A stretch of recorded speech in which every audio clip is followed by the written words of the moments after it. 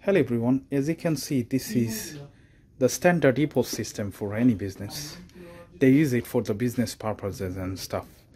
Recently the Windows system is gone. So today in this video I'm going to show you how to get into BIOS and enable the USB boot due to reinstall the operating system. The operating system could be anything like Windows 7, 8, 8.1, Windows 10, 10 Pro, whatever it is.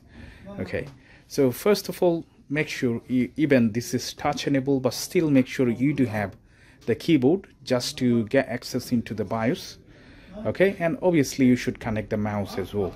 And you should have the bootable USB thumb drive. So first we're gonna put the bootable USB drive into the USB port. My one is underneath which is right here.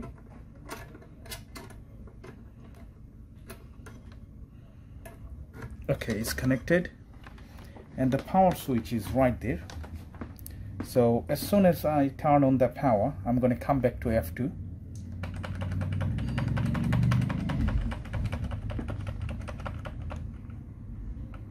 alright so once I clicked on F2 it takes me directly to the standard BIOS uh, which is uh, Insyde H2O setup utility okay most of the time they do use that one. So from here we need to change a couple of settings. All right we need to get into advanced first and see the boot configuration. As you can see the first option okay? Once you hit enter then it's going to take you directly uh, to the uh, actual option. But there is nothing so we're going to press escape again and get back to the main menu. Now USB configuration. Also you need to check so USB configuration, it says the USB boot BIOS support enable, which is absolutely fine. And Windows 7 driver workaround disable uninstall. Okay, that's absolutely fine. And USB HCI debug is disabled. Okay, anyway, we're gonna make these enable anyway. Okay, so make this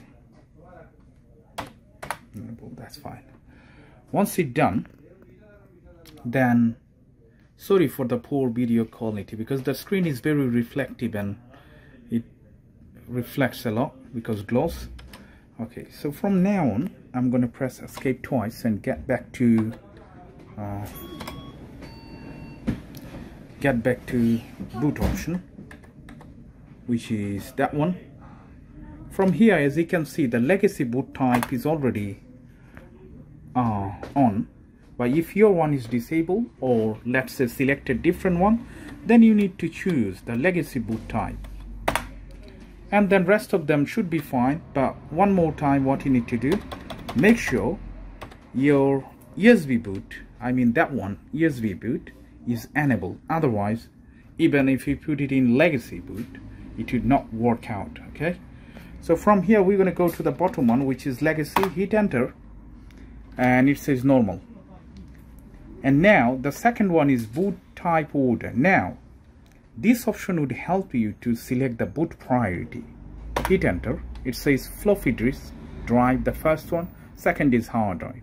Because of I'm reinstalling the Windows from the bootable USB drive I have to put the USB on the top of the list okay? So how I would do that? First highlighted the USB one and then press F6 once you press keep pressing F6 it's going to go on the top. If you do one more time yeah it's on the top now. Now whatever we did we're going to save it by clicking F10 and enter yes. All right? So hopefully now this machine will turn up from the USB let's check if there is any boot logo. Yes. As you can see it says Windows is loading files okay. So this machine and that machine almost same. Most of the EPOS system does have the Insyde H2O utility BIOS uh, program you know. As you can see the Windows 7 logo is loading up. And now we're going to see the setup page. Okay? All right so from here you know what to do. But anyway just due to the video purpose i'm going to go little bit to the front eye. Okay you can choose whatever you want. I'm going to choose the United Kingdom for myself and hit next. Enter. Okay. So the setup is starting. This one would take a little bit of time. It depends on your machine configuration. Some some machines are really you know high config and it doesn't take that long. But anyway I'm going to choose I have multi operating system bootable USB drive. I'm going to put Windows 7 Pro hit next. Accept terms and condition hit next again.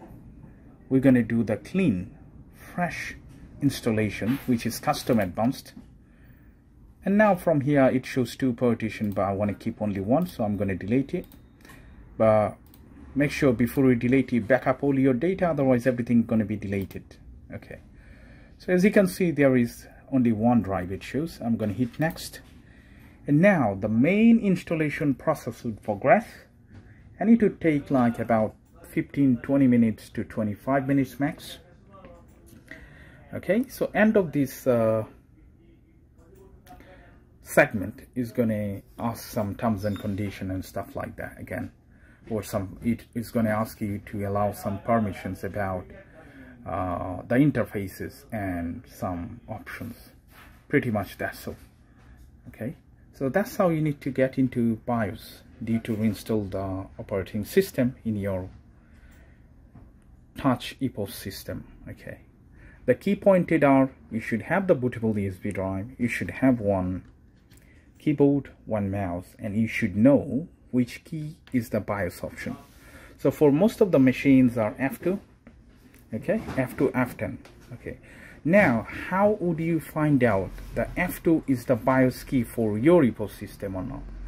Well once you turn on you need to look into the screen properly. It's going to pop up for a second and then it will disappear. It's going to tell you either right here on the left hand side or right there on the right hand side at the bottom. It's going to say like press F2 for BIOS or press F2 for setup, press, press F1 for setup, or press F10 for utility, something like that. Okay, so so in that way, that would go up to 100% and finish few tasks in here, as you can see, one and two. And then, you know, couple of uh, agreement with the features and stuff like that. I'm just forwarding the video with fast speed just to finish it and then we'll get to the final page and the job will be done so this is the final page. Now we need to choose the name. It could be anything. Hit next. And skip the password and the time setup and stuff like that. And hit next. And within few seconds it's going to be ready. As you can see it's preparing your desktop. Okay. So Windows 10, uh, 7 is much more easier than Windows 10 if Windows 10 also is similar, same procedure to get into BIOS, enable the USB boot and do that. Now if you'd like to know how to create a bootable USB drive, check the video link in the description. Thank you so much for watching. Bye for now.